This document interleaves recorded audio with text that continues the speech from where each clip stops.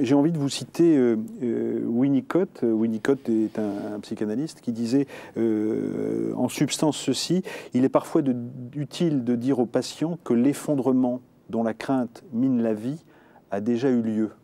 Pourquoi est-ce que je me permets de citer Winnicott C'est parce qu'on a l'impression que dans vos films, vous explorez toujours cet effondrement qui a été le vôtre à un moment donné de votre vie, d'une manière ou d'une autre.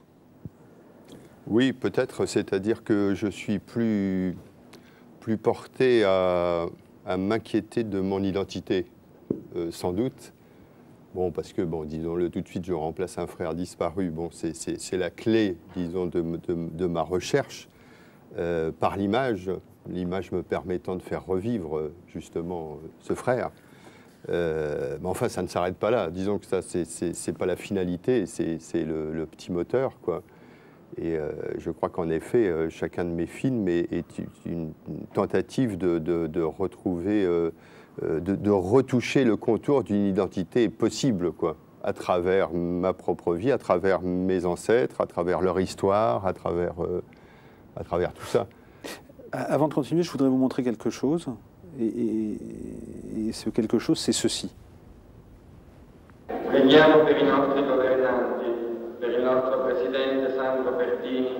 Francesco Cossiga, per tutti i giudici, per tutti i poliziotti, per tutti i carabinieri, gli agenti di custodia, per quanti oggi nelle diverse responsabilità nella società, nel Parlamento, nelle strade, continuano in prima fila la battaglia della democrazia con coraggio e amore.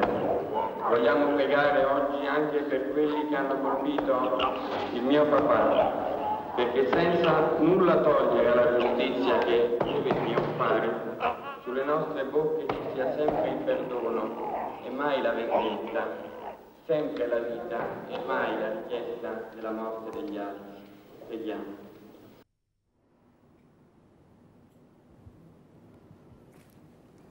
Oui, je, le regarde, je connais ça. C'est-à-dire que je le connais aussi, surtout dans, dans la capacité que j'ai pu avoir à le mettre en scène, à le recréer.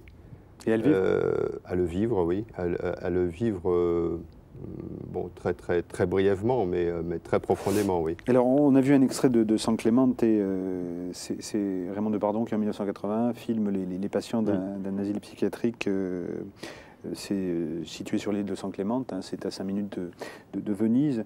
Euh, de cette expérience-là, donc, euh, vous avez parlé dans vos films. Tout à l'heure, je citais un psychanalyste, mais pour vous, la psychanalyse n'a rien à voir dans l'histoire.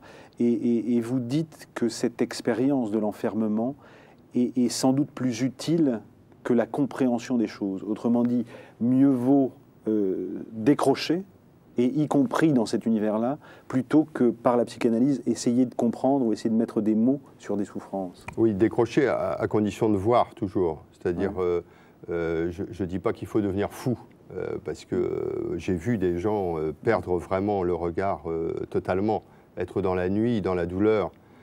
moi, je, moi, je suis, j'ai pris quelque chose de très positif dans ça parce que j'ai toujours eu un, un regard euh, de non-fou à, l'intérieur. Vous aviez 20 ans, hein J'avais 20 ans, euh, j'ai perdu mon père, euh, donc mon, identité s'est vraiment effondrée à ce moment-là. J'ai fait une vague tentative de suicide. Je me suis retrouvé dans un hôpital psychiatrique pendant 2-3 mois. Bon. et comme vous savez, dans les hôpitaux, c'est comme ça, c'est-à-dire il y a un mélange de, toutes les douleurs, quoi, un mélange de toutes les, de toutes les maladies, si on peut dire. Euh, qui fait que donc j'ai été euh, d'un seul coup très vite témoin euh, de, toutes ces chutes. Quoi. Et c'est vrai que pour moi ça a été important, sans doute parce que j'étais si bas et je voyais encore plus bas que moi que finalement c'est là que j'ai pris la source de mon énergie, sans doute, à, à, pouvoir rebâtir les choses à partir de là. Donc vous êtes un enfant de remplacement. Il y en a eu d'autres qui sont célèbres, Camille Claudel, Van Gogh. Et à telle enseigne que ceux qui cherchent un peu sur les enfants de remplacement disent euh, ou ils deviennent fous, euh, moins la facilité, ou euh, ils deviennent euh, des créatifs. Oui, c'est-à-dire que créateurs. normalement, pour ces gens-là, dont je ferai partie, Je ne parle pas de, parce que du génie, non pas, non pas parce que je veux être un génie, mais disons que la, création est, un axe qui leur permet de, de ne pas sombrer dans la folie. Voilà, c'est ça. Euh, Alors, ce, qui est, ce, qui est, très, très euh, positif. enfin, certains ont, vraiment joué avec la folie. René Ferré, je disais juste avant le journal, euh, je, disais que, vous, que, votre, votre cinéma est un cinéma difficile à faire. Euh, parce que les, productions sont difficiles à monter, etc. Mais je disais aussi que c'était un cinéma qui finalement disait euh, simplement les individus que nous sommes. Donc c'est pas du tout un cinéma qui, est, euh, qui serait difficile d'accès, c'est au contraire un cinéma qui parle avec beaucoup de pudeur de ce que nous avons chacun de nous, du sens de la famille, du sens de la mort, du rapport à l'autre, du secret de famille. Est-ce que cette, idée-là vous est, vous est venue tout de suite, y compris quand très jeune, 17 ans, vous étiez au TNS L'idée de faire des films ou... Enfin, l'idée de travailler là-dessus sur euh, bon, euh, très vite, j'ai voulu... Fratrie, famille euh, Non, pas tout de suite. J'ai voulu être acteur d'abord, mmh. parce que c'était un moyen quand même d'exister de, façon multiple et de peut-être d'échapper déjà à un malaise, quoi. Et, et c'est seulement après, alors après cette expérience que j'ai fait mon premier film, et que là j'ai choisi l'image vraiment. Et bon, et c'est peut-être là seulement que j'ai compris que j'avais un chemin à faire vers, euh, euh, vers ces êtres dont vous parlez, euh, des, vers la famille, vers toutes ces notions. Alors, seulement après. Dans, votre parcours d'acteur, il y a des réalisateurs comme Jeanne Moreau, comme Buñuel ou comme Doyon. Vous avez également une carrière, ou en tout cas une, une, période de producteur. Vous avez produit René Alliot, oui. Hein. Euh, et puis l'essentiel de votre, de votre travail, ça reste quand même vos films, avec le premier qui est Histoire de Paul en 1975. Et là, c'est l'expérience, euh, euh, c'est une première manière de dire l'enfermement, qui a été reprise plus tard avec La place d'un autre, c'était en 1993. Et ensuite, on entre dans, dans ces films de la famille, comment fonctionnent les liens de famille. Et je vous propose de regarder un extrait de Baptême qui a été réalisé en 89 euh, et qui est, euh, comme votre autre film Communion solennelle, une chronique de gens du Nord, parce que le Nord, euh, les Ch'timis, c'est votre pays. Hein. on, est, on est à l'ombre des terris, j'en sais quelque chose, j'en sais quelque chose également. On regarde un extrait de baptême de retour de vacances de noces en Corse. Tiens donc, Pierre et Aline viennent faire une visite aux parents d'Aline et ils découvrent que Rosalie, Rosalie c'est la mère d'Aline, est morte.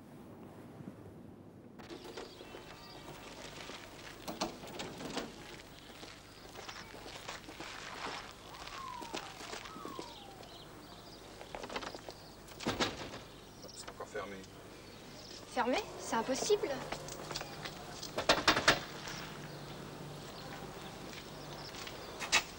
C'est pas normal, ça. Il est arrivé quelque chose.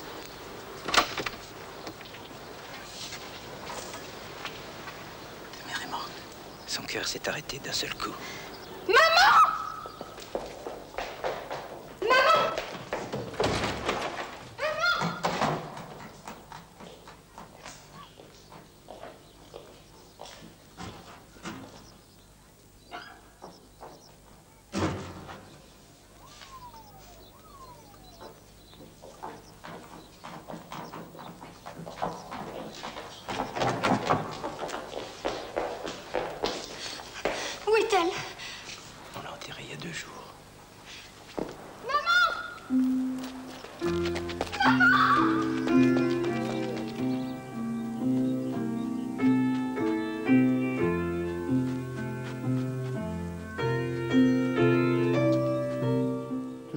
grande intensité psychologique euh, dans, tous vos films. Alors, à la fois dans, le contenu, mais également dans la manière de faire, je voudrais m'arrêter sur euh, un, beau film que j'ai vu, euh, qui est un film qui a été réalisé en 1994, qui réunit Bonafé, Renucci, Stevenin, Rajo, qui s'appelle Les Frères Gravés. Donc toujours cette, saga, cette saga familiale.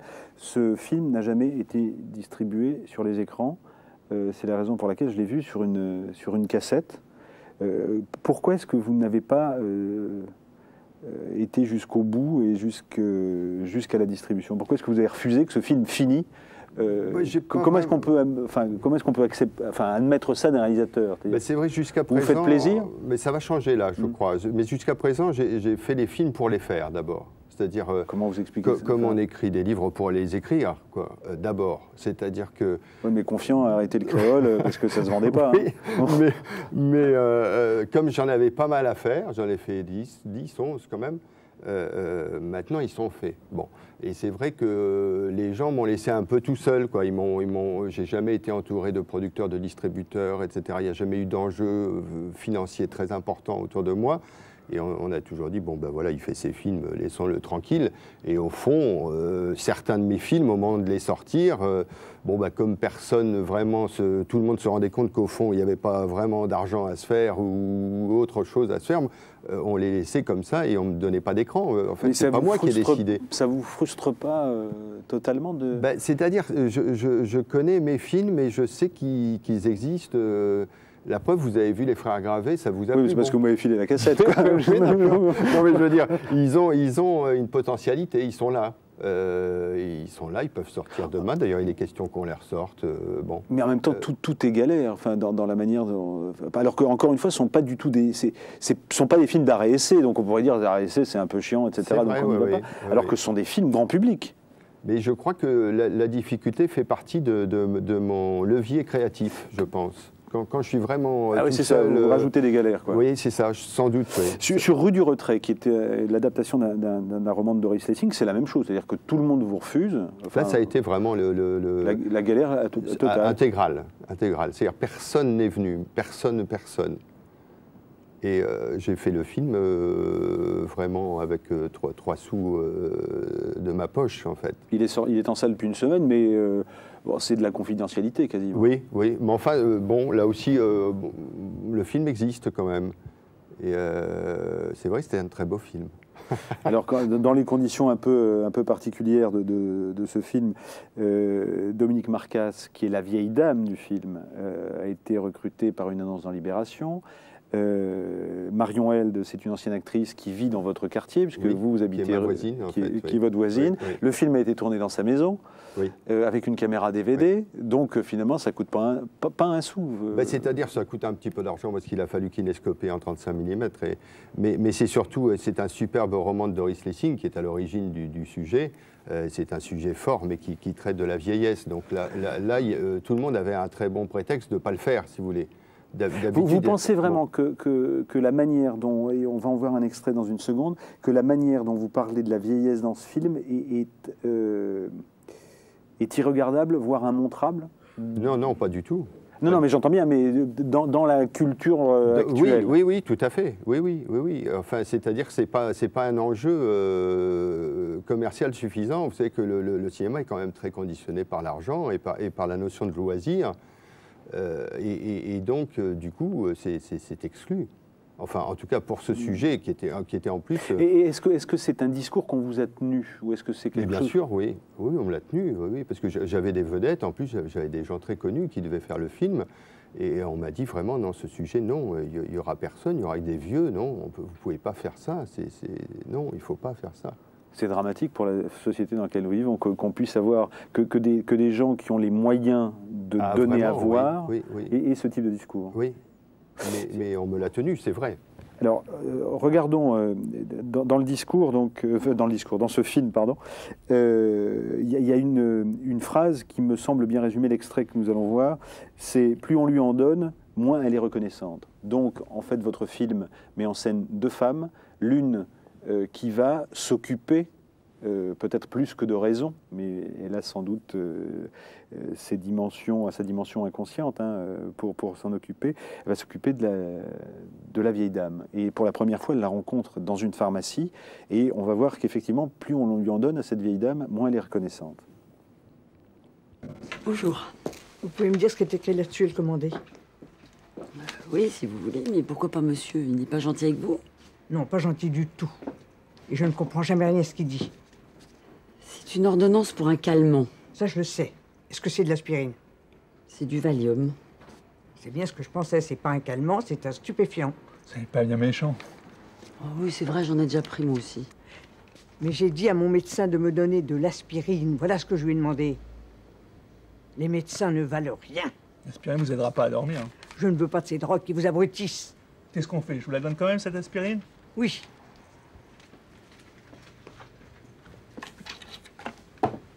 Merci. Rue du retrait, c'est sur les écrans depuis, euh, depuis la semaine dernière. Euh, est-ce que c'était dur de, de faire jouer, euh, enfin de, de faire en permanence euh, changer de registre C'est vrai qu'on a l'impression dans votre film qu'on change de registre en permanence. C'est-à-dire que d'un seul coup, on s'installe dans, dans une relation euh, apaisée, un peu, un peu tranquille, et d'un seul coup, quelque chose casse, comme effectivement quand on est face à une vieille personne qui, qui est en disjonction parfois Mhm. dans, dans son mode relationnel. Est-ce que ça s'est senti sur le, sur le tournage? Euh, pas vraiment, c'est-à-dire sur le tournage, vous savez, euh, Dominique Marcas euh, avait très peur de ne pas avoir assez de mémoire, donc c'était son seul problème. Et du coup, elle m'a amené, problème de vieux, ça. elle m'a amené un cadeau formidable d'être elle-même, quoi, enfin, avec tout, tout- tout ce qu'elle trimballe de, de- de merveilleux et de, et de- de terrible. Et moi, mon souci, c'était, de mettre en scène le plus rapidement possible parce qu'on avait euh, à peine d'argent pour manger, quoi. Mais euh, donc, euh, euh, on n'a pas été conscient de ça, en tout cas. Bon, euh, ça, c'est plutôt dans le scénario que ça s'est installé par rapport à, à ce qu'a amené Doris Lessing. Mais euh, disons que ça ça- Pour- Pourquoi est-ce que, pourquoi est-ce que vous êtes sur une thématique de la mer, alors que jusque-là, on était plutôt dans une thématique euh, avec, avec une forte dominante des, hommes, les frères, euh, les enfants et le père, euh, alors que là, c'est femme-femme. Oui, c'est femme-femme, mais enfin, euh, le- le- la femme a beaucoup d'importance dans, dans les autres films Oui. aussi, hein, dans, dans- dans Baptême euh, également. Bon, là, c'est aussi euh, c'est un sujet extérieur à, à ce que j'écris d'habitude la aussi. C'est Doris. Lessing qui, qui- qui a proposé ça, quoi. Et, et donc, euh, il est vrai que euh, je trouve c'est encore plus, plus, plus, plus beau et plus fort que, que- que le thème de la vieillesse soit, soit traité par des femmes, justement.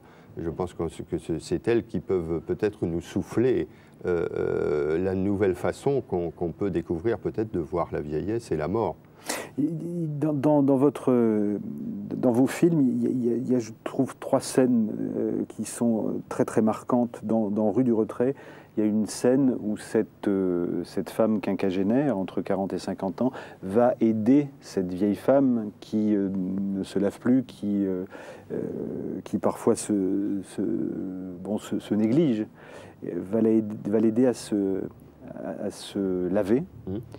Euh, dans euh, Les Frères Gravés, euh, on a ces frères qui recueillent la mère et à un moment vous avez cette scène où l'un des fils nourrit la mère qui devient folle, qui perd la tête à la, à la cuillère et à l'inverse, je crois que c'est dans la place d'un autre, vous avez la mère qui nourrit son fils qui est interné Mhm. à la cuillère. Là, il y a trois scènes qui me semblent emblématiques de, de- de ce que vous cherchez à dire. Est-ce que, vous êtes euh, d'accord? Elles sont, elles sont extrêmement précises dans... Oui, oui, je pense qu'il y, a- y y y la relation, en tout cas, il y a, le regard de l'autre, il y a l'attention de l'autre, il y a, il y ça qui est vital, je trouve. Je crois que la vieille, elle revit parce que l'autre la regarde, l'autre la touche, en fait.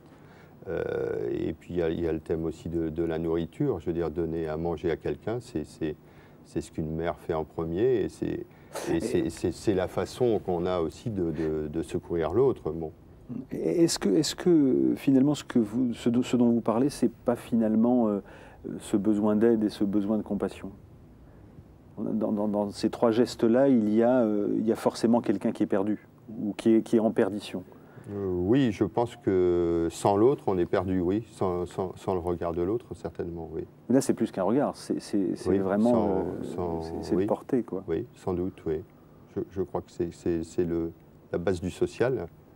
Euh, Justement, la, dernière question que je voulais vous poser, c'est est-ce que c'est un, ce film-là ou vos films en général sont des films politiques parce qu'ils parlent du social, justement?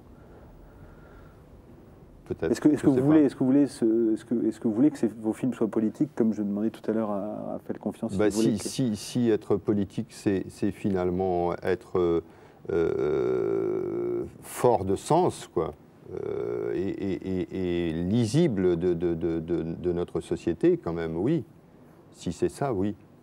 Alors, euh, l'ambiance du théâtre permet un jeu permanent entre ce qu'on a vécu et ce que l'on dit sur scène. C'est une histoire d'amour, mais sur un mode plus léger, tout en restant dans la même ligne autobiographique que mes films précédents. Voilà ce que vous disiez à un moment où vous parliez euh, du théâtre. Vous avez fait beaucoup de théâtre, hein, euh, notamment vous avez créé le Centre dramatique de l'Ouest et vous avez adapté Dario Fo. Euh, Aujourd'hui, le cinéma et le théâtre Ben, le, le- le théâtre a été vraiment ma formation, Mm. c'est-à-dire euh, j'ai appris à construire des personnages, j'ai appris à découvrir des auteurs. euh, ça a été vraiment ma formation de, de- de scénariste et, et de cinéaste au fond. Et- Pourquoi est-ce que vous dites qu'on dit plus avec le cinéma qu'avec le théâtre, d'une certaine manière Bah, je crois que c'est l'image, euh, l'i- l'image et l'espace, c'est-à-dire qu'avec le cinéma, je peux vraiment euh, travailler sur l'espace et sur l'image et animer les choses euh, davantage. Et avec le, le théâtre, je me sentirais un peu, euh, un peu infirme, quoi. Je, je- je- je n'y arriverai pas, mais j'admire énormément, évidemment, les, les, les réussites théâtrales. hein. Rue du Retrait, c'est un beau film de René Ferré. Je voulais euh, surtout les vieux. Enfin, j'ai jamais oublié les vieux. Enfin, c'est ce que ce que vous racontez de la manière dont on n'a pas voulu vous, vous financer est, est absolument affligeant. Euh, Monsieur Confiant, qu'avez-vous entendu de ce qu'a dit Monsieur Ferré? Eh Moi aussi, je n'ai jamais vu ces films, mais les deux courts extraits que j'ai vus m'ont, je dois dire, profondément troublé.